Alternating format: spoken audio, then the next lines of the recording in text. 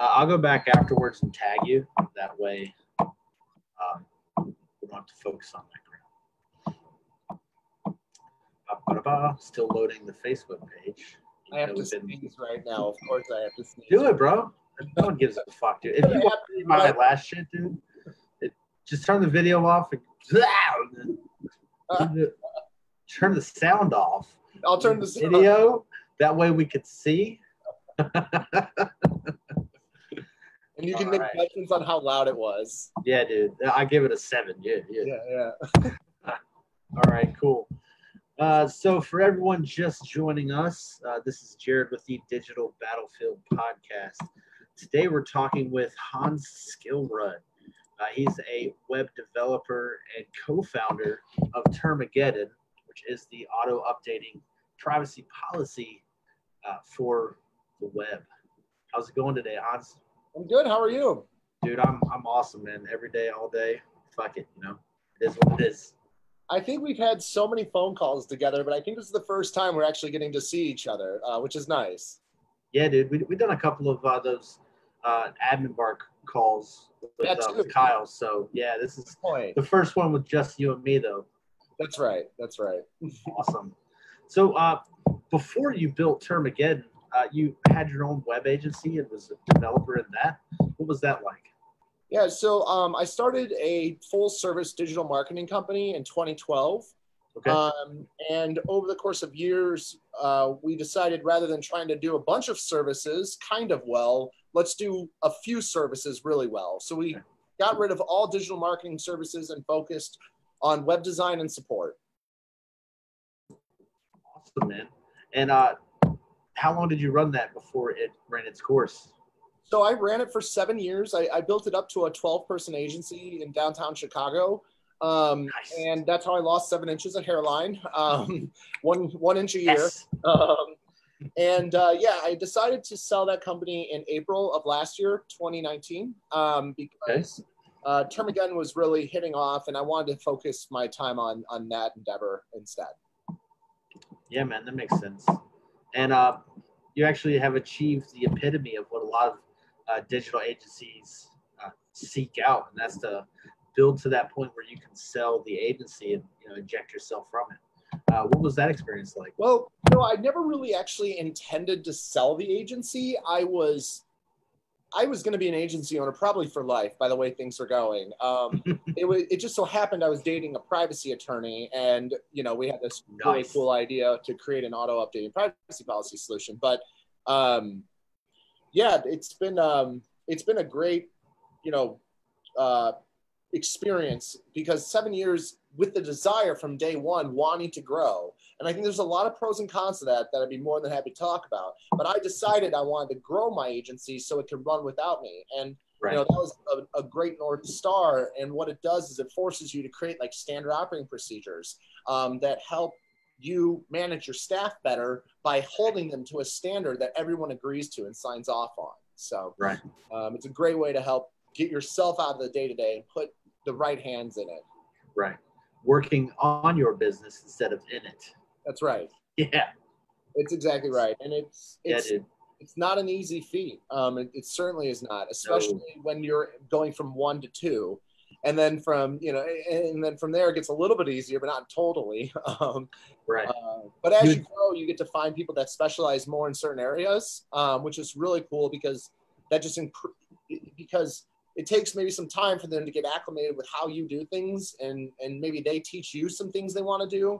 Right. Um, so it takes a little while to really become fully like immersed, like an employee within the Right. web agency world. But once they are there, then they go past your expectations and they start doing things that you didn't know were possible. They find Yeah. expertise in their specific area of focus. So from front end designers finding new ways to use JavaScript to animate visuals you would have never guessed before, to salespeople thinking about partnerships and like forming partnerships where you're you're working with people that can feed you multiple projects. You know, it's just it's really exciting how it develops.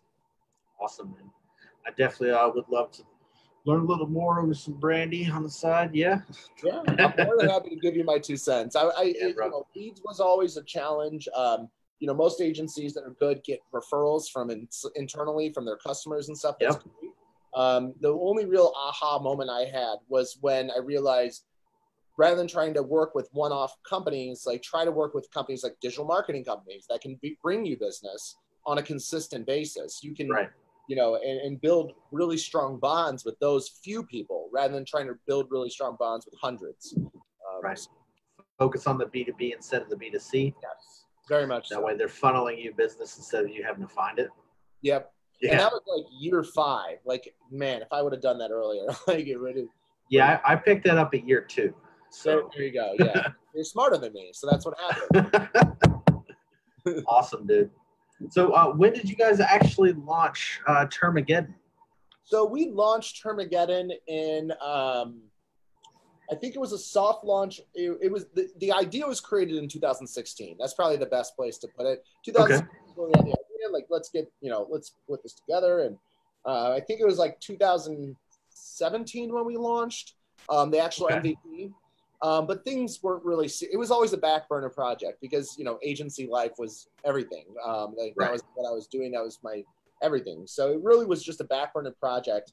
Um, and then the time came for the agency to really consider expanding, and we were thinking about taking on some additional investors, or or buy, or selling the company if there was an interested prospect. Right. And uh, and and it ended up being the latter. So we we had the prospect um, uh, buyer come in and buy the company, and and so then I had no choice. Termageddon all the way in, and the moment man. you focus all of your time on working on two dozen projects at any given moment to focusing on one product that you own um, it's certainly and, and then you bring the years and years of experience you have like Right. lab, like yeah it's, it's a great combo um, yeah What that that um it gives you that focus and clarity that you need to push your own project to that next level.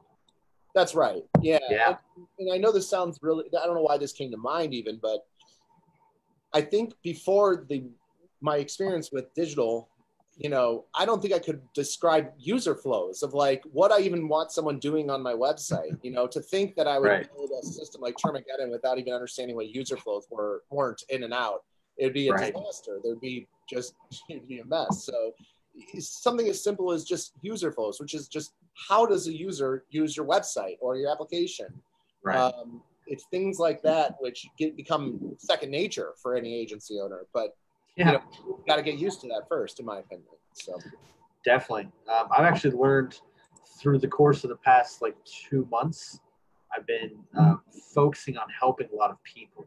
And through that uh, journey, I've realized that stuff that's common knowledge for you and me is just, you know, the type of knowledge that everyone out there who's not like you and me needs. It's just highly uncommon knowledge outside of this little sphere that we're in. And so um, I've actually been trying to push push that foundational level stuff myself because it's highly important.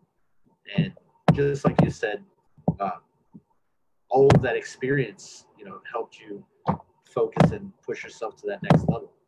I love that. I love that outlook. I, I really do. Because by the end of me running my agency, I felt like I was worthless. I got to the point where I was like, I'm worthless. Everyone else is doing a better job than me at what they're supposed to be doing a job at. So rather than spreading myself too thin and doing a crap job, I have experts in the right positions doing things that that needed to do to excel the company. So right. um, you know, it definitely is a conscious effort. But I, I really like your endeavor of pursuing people with different professional backgrounds. Um, have you ever heard of the term a fractal? Like, what do you know what fractals are? Is that the person who gets a uh, percentage of the company to come and run it?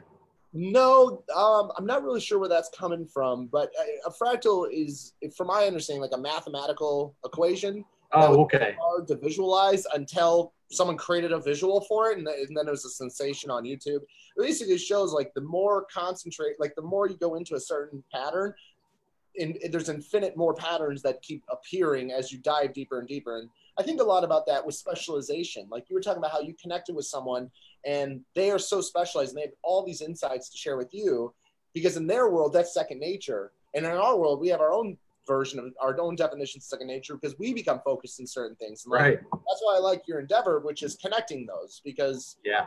connect experts with experts. They're you're working with the best of the best, and and uh, Yeah, man. You have the most potential to do great things.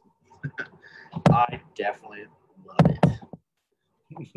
Nice. So, uh, one of the things, uh, full transparency for anyone out there listening, uh, I am a Termageddon agency partner, and I fucking love it.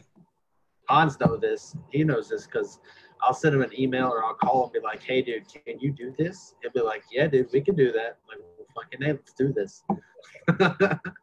You know, so um, I, I've definitely, uh, I've even contributed to um, uh, concepts and ideas for uh, new features and shit like Yeah. that. So, I, dude, I, I fucking love it. Uh, the best part about it is how simple it is because the whole platform, as uh, Hans can attest to, is basically inputting a script on your page, right? A single line piece of code, and then your entire policy is there automatically there and it's updated as needed. Uh, and what's even cooler about it is that there's no uh, there's no style applied to it. That way, whatever your default CSS is for your your default styles for your website is, it's gonna automatically match those, and that's even more gangster than everything else. Uh, and then um, on the legal side of things, uh, how does that work uh, with the misses? Yeah. So, um, well, I first should say that I, I should probably put you on payroll or at least slide you a couple Benjamins for that for that intro. You said it very well. I don't think I can do it any better. Um, yeah, we're, we're you know small businesses are not aware about the privacy laws that are about to hit the U.S. And web agencies typically know that privacy is kind of a big deal, and it's probably feeling a little uncomfortable copying and pasting privacy policies from competitor sites or stuff like that. Like, It, it's not a little uncomfortable. Yeah, It's a lot uncomfortable, It's a lot. especially when you know that that person, if they don't know anything about that policy and what it entails and stuff, and they get crash and burn on that, who are they going to blame? They're going to blame us. A hundred percent. And that's the problem I saw. And I happen to be dating a privacy attorney who is now my fiance. We get married in 46 days. And Dude, he is the founder of Termageddon. So Donata is the other part of Termageddon. Uh, she's a licensed privacy attorney. Uh, she was the newsletter editor and is now the vice chair of the American Bar Association's e-privacy committee. Uh, she lives and breathes privacy, and that's her specialty. And that's kind of big, though, dude, to, to be assigned to that level. yeah, I need to start working out because I'm entering house husband mode, whether I like it or not. So Yeah. so um so yeah she she's rocking it on that front and you know there's lots of companies or there's lots of attorneys that are charging you know 100k plus to be you know their counsel for privacy compliance but we know that small business owners most of off are unaware that there's 23 Right. proposed privacy bills in the us like there are bills in new york that will enable citizens to sue businesses of any size and any location for having as little as a contact form without a compliant privacy policy. And that's that awareness is what people need to be aware of because as Yeah, someone who built websites i know that if one of my clients got fined or sued for privacy noncompliance the next phone call would be to me asking me why didn't i tell them about privacy policies? Because i was Right. offering professional web services. So my, but in, in, in the same breath my thought is web agencies should not be the privacy attorneys for their clients. Oh, rather no. use something like our waiver where you just say hey sign this where you acknowledge that i'm not your privacy person. You can go to an attorney you can use something like termageddon or you can choose to do nothing but either way you're signing this agreement so i'm limiting the liability of my agency um, Actually- why- I actually had to add that. Um, like it was like a year and a half ago when we first started working together.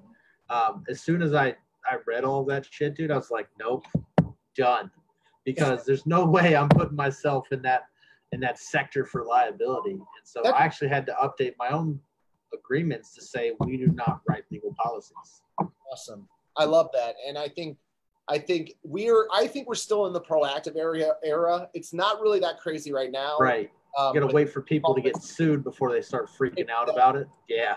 So I tell agency owners, look, this is the proactive area. This is the, your chance to not have a reactive problem where you're trying to solve it, and you can get ahead of it. Use our pre-written emails and tell your clients about this is what's happening in privacy. It's getting more important, not less important, and it does very well at educating clients. And and many of the clients will sign up with Termageddon, and as an agency owner, you know you get a free license for your own website, and then you can resell licenses to your clients or use our affiliate program. Definitely. Uh, one of the things you just said, and uh, I'm pretty sure a lot of people are asking, or not asking, they're thinking is, you said email templates. Mm-hmm. What does that consist of, and how does that work? So this was yet another request from an agency partner that I wrote up for them, and then I wrote up for another person. Then I'm like, why don't I just write up a standard for everyone to use? So um, really, what I wrote up was just kind of a, to serve as a backbone of how to communicate with clients the importance of privacy laws. The right. fact is, web agencies aren't privacy attorneys, but as I mentioned earlier, they're going to be looked at as like, why didn't you tell me about a privacy policy? So what I did was I put together just facts, not sales, but facts. Like here's what's happening in America. Whether you like it or not, this is what's happening. And if you have a website that collects information like a name or an email on a contact form, you need to have a strategy to keep your privacy policy up to date. Right. And and then obviously it says, you know, Termageddon is what you can use if you'd like, or you can hire an attorney, so forth. Um, but yeah, that, that was just from requests from agency partners. Hey, can I have like something to send my clients? And now we just give it uh, to agencies when they sign up. Awesome. Yeah, I actually have those templates myself. So, cha-ching. You have what? I have those templates from you guys. Nice. Yeah, dude, they're they're pretty slick. I like them. Good. Uh, one of the things you just mentioned was you could hire an attorney, and um, you might recall the conversation that we had uh, where uh, I had a situation where I signed somebody up, and they hired an attorney, and the attorney went and changed everything.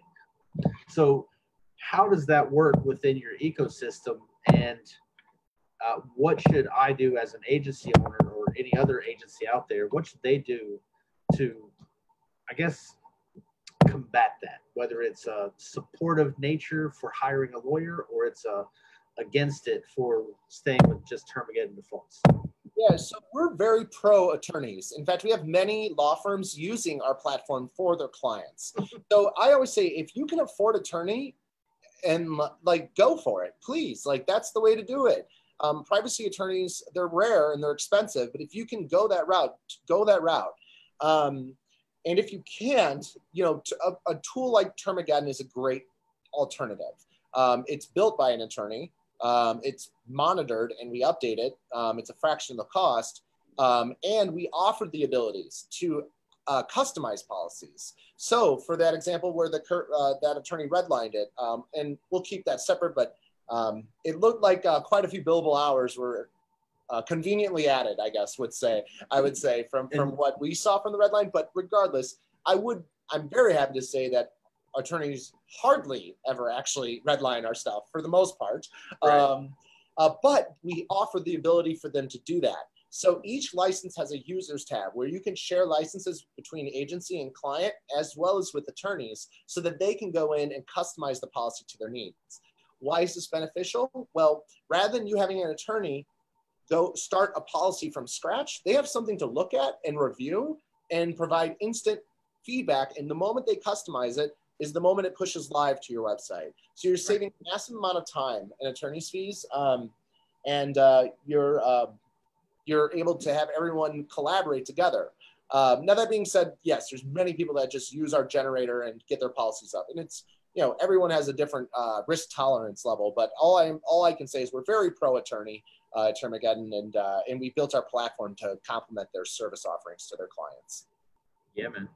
Uh, one of the things that I noticed was language uh, within a, a default system generated uh, policy versus what I was provided personally by the attorney, it basically says the same thing, but it's normally just reworded a little differently. Um, in, in those situations, naturally, whatever the lawyer gives you is what they're going to want to be updated, um, right? Because otherwise, then they're no longer supporting it because it's different from what you, they said it was or some crap like that. Yep. Um, so, how easy is it to add those custom features or of those policies into the system? So um, I would say that the best way to use a system is to generate your policy through Termageddon first, and then give it to your attorney to redline. Because if the attorney is working on a on a eh, like separate to the system and they generate their own, I think you're going to get exactly what you just described is basically the same things that are said, but just in different areas. So I think that clashes a little bit technically you still could go to the override section of our policy and just copy and paste in the changes.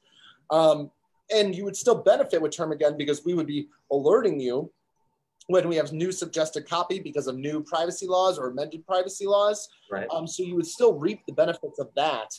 Um, and um, yeah, and, and regardless of all of those features and how that all works, I would definitely ask you if you are working with an attorney, be sure to ask them like, hey, you know, what is your strategy to keep up to date with privacy laws? And if your attorney says, well, you only have to comply with privacy laws within your state, you may want to consider looking for another attorney uh, because one big thing that we're seeing in the, uh, the law community is that many attorneys realize that you don't have to be located in Europe for Europe's privacy law to apply to you. Same so, thing for um, California. Or California, great example. Yeah. California has two, CalOPPA and the California Consumer Privacy Act. Um, and both of those, yeah, there, there's not a single privacy law that I'm aware of that is restrictive on who's actually collecting the information. They don't care where you're located. If you are processing the personal information of residents or citizens of that state or country or continent, yeah. So, um, so yeah, just make sure you work with a good attorney. A great indicator is asking them, "What is your strategy to keep your policy, uh, keep my policy up to date when the laws change?" And if they if they poo poo that and put it to the side, you have a red flag. If they're like, you know, this is how we monitor privacy laws, that's an A plus attorney right there. Awesome. Uh, one of the things that I presume is kind of a big part of the conversation on your end is international stuff. Mm-hmm. Um, so, how expansive or how expanded is the product right now uh, across the globe, especially you know with uh, the European GDPR and stuff like that as well? I know that's a big thing for you guys. Yeah, so our policies, um, we cover all US, European, and Canadian privacy laws. Um, and we've just launched compatibility, meaning that you, if you're a business formed in Canada or a business formed in the UK, you can now use Termageddon to generate your policies. Okay.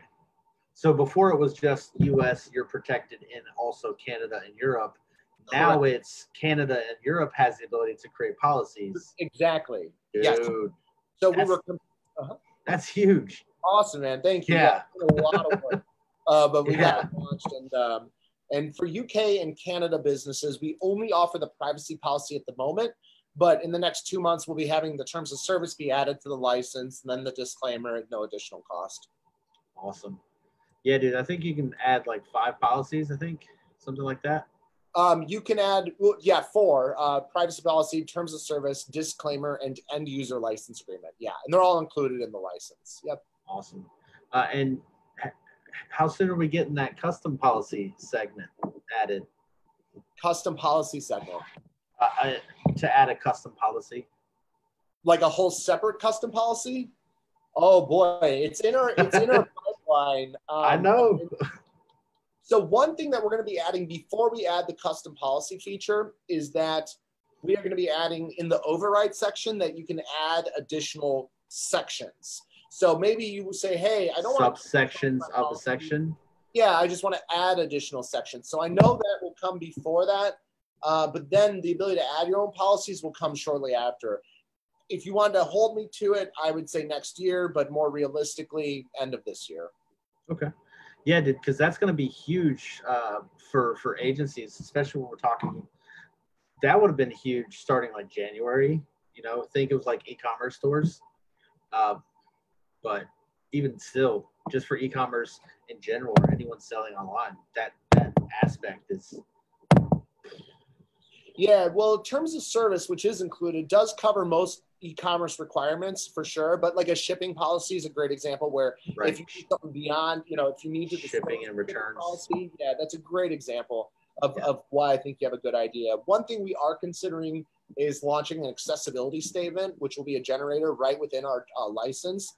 Um, we're still going through that because, as you know, accessibility it's not a get out of jail card just to have no. a just to have a statement on there, it's and that's not. Uh, that's what we're trying to balance out. So there is a whole lot of work involved in accessibility, and quite frankly, uh, you know, there's there's not a one size fits all solution. Uh, you know, especially a lot of people on WordPress try to they get into that cycle of you know, the, where's the plugin that solves this problem for me? And you know, this is too big, too important, too critical to your well-being to to just yeah. really focus everything on a plugin, but at the same time, like it can collapse your whole business if you're not ready for it. Yeah, it's been So- um, quite chaotic hearing how aggressive the lawsuits are becoming within the accessibility industry. Right. I actually um I actually have a segment in my agreement that or I have a special agreement because people a lot of companies are not willing to pay the the cost just to become accessible, right? And, And therein lies the fundamental problem is that the clients are not ready for how much it's going to cost, which puts them not in a proactive phase, but a reactive phase. They're just waiting to Right. get started. and then they're going to freak out and be upset. And it's just, it's just a terrible, I'll tell you, it's a huge challenge we have in the web industry right now, a huge Right. because um, web agency owners understand how important accessibility is.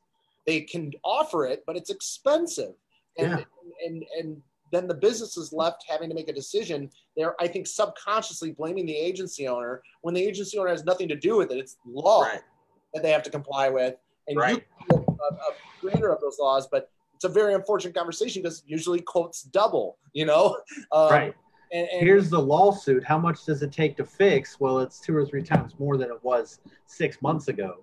Exactly. Yeah, because at that point you're under the microscope for everything that you do, right? And it's it's it's crazy, man. It's tough. Uh, but actually, there's one thing that I do that some people overlook is even if they don't, uh, even if the client doesn't want me to add that, uh, I'll have them sign something saying that, hey, I decline these services, and then I use like a UserWay widget or something like that. That way, at least they have they have something because something's better than nothing. yes. Um, and then at the same time, I'm covered. yeah. No, that, Yeah. makes, that makes sense. Yeah. And it all comes down, I love how you document everything. Like it's, it all comes down to just letting the customer know. Don't try to hide it. That is the worst thing you can do is pretend. Oh, I know. Get in front of it, acknowledge it, you Mhm. know that's Termageddon we we try to turn it into an opportunity and, and with it and, but accessibility privacy these are things you just have to get documented you just you just do this is the new world Yeah. we're entering so yeah, everything has to be on paper. yes Yeah. that's the world I grew up in uh, in the Marine Corps, where if it's not on paper, it doesn't exist. there you go Yeah. so I'm kind of on par where I used to be. So there you go awesome, man. Uh, is there anything else that you have in the pipeline? um we have some goodies uh we we Can't have give them away yet. Okay. no, okay. I, uh, I report to my fiance slash attorney slash president i oh, okay.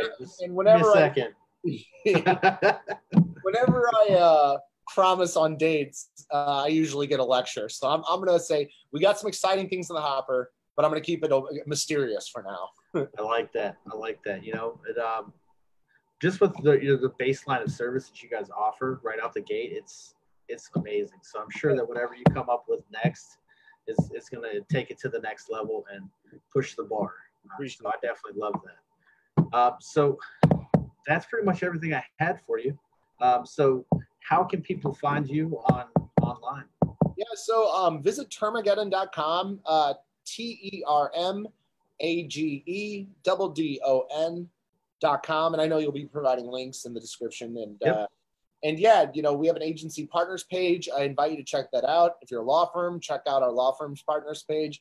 If you need help getting your policy set up and you're not an agency or law firm, like sign up, buy a license. I'd be happy to walk you through the setup process even. Awesome. Well, you heard it straight from the horse's mouth, the Termageddon man himself, Hans Skillrud. Hans, thanks for coming on today. I definitely, definitely love having you on. It's been a journey between us together for the time, and um, we'll see where this takes us. You know, Thank you so much. awesome, man. Well, hey, everyone out there in Facebook and podcast land, this is Jared, Digital Battlefield, signing off.